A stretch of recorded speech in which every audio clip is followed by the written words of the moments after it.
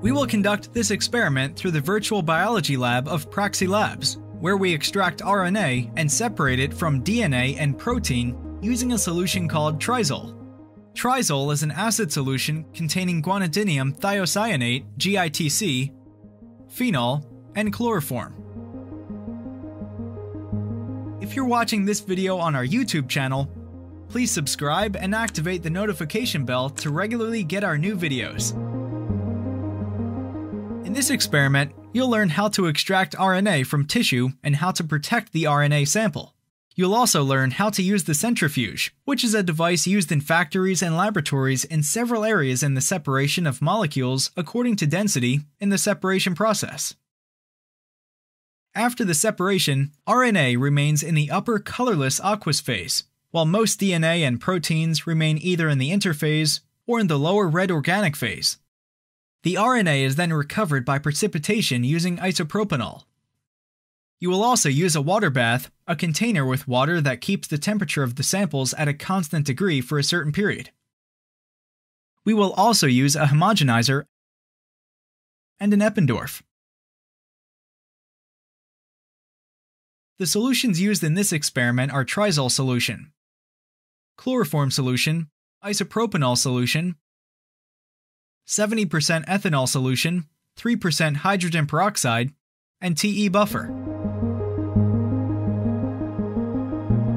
Now start the experiment at the Virtual Chemistry Lab in Praxi Labs. In this experiment, we'll perform some steps in order to learn how to extract RNA from the tissue. Stage 1 Homogenization. Before beginning, Clean the working area with ethanol 70% and 3% hydrogen peroxide by the atomizer.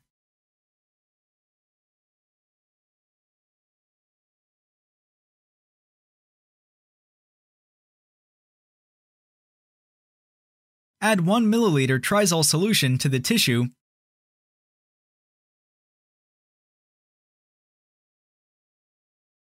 Then homogenize the sample using homogenizer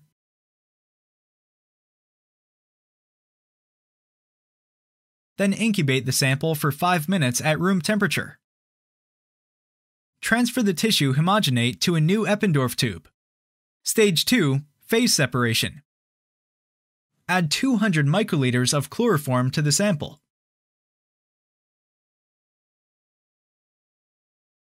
Close the cap of the tube, then make inversion twice.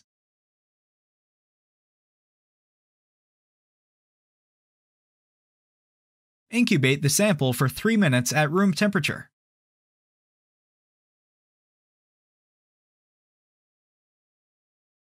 Place the sample in the centrifuge for 15 minutes at 12,000 rpm and 4 degrees Celsius.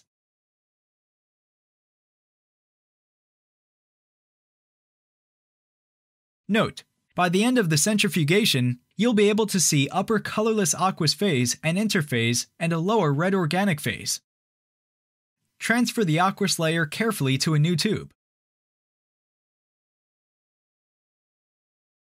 Store the interphase and organic phase at 4 degrees Celsius in order to use them to isolate DNA or protein. Stage 3 RNA precipitation. Add 500 microliters of isopropanol to the sample.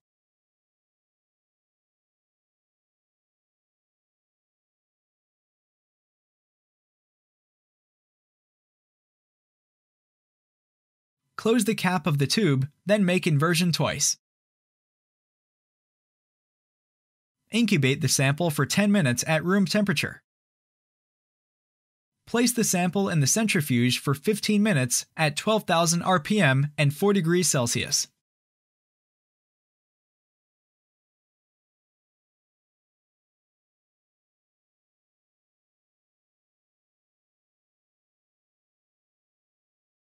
Note by the end of the centrifugation, you'll be able to see total RNA precipitate as a white pellet at the bottom of the tube. Stage 4 RNA washing. Remove the supernatant using pipette. Wash the pellet with 1 milliliter of 70% ethanol.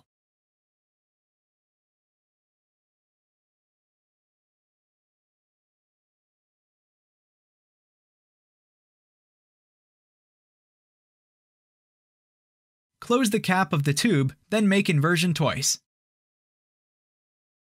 Place the sample in the centrifuge for 5 minutes at 7500 rpm and 4 degrees Celsius.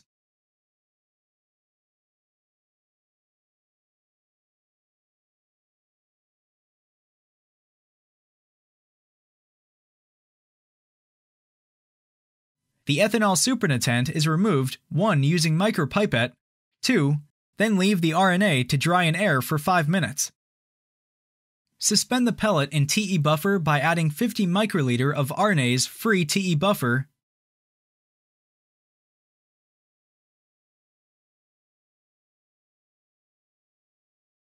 Three, then make pipetting.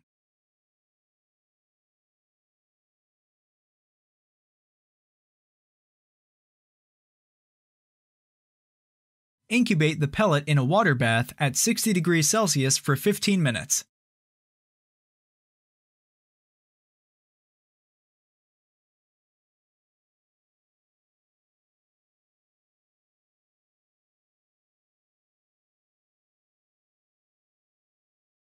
Now you have RNA sample ready for use in any other processes. If you liked this video, share it with your friends and leave your feedback.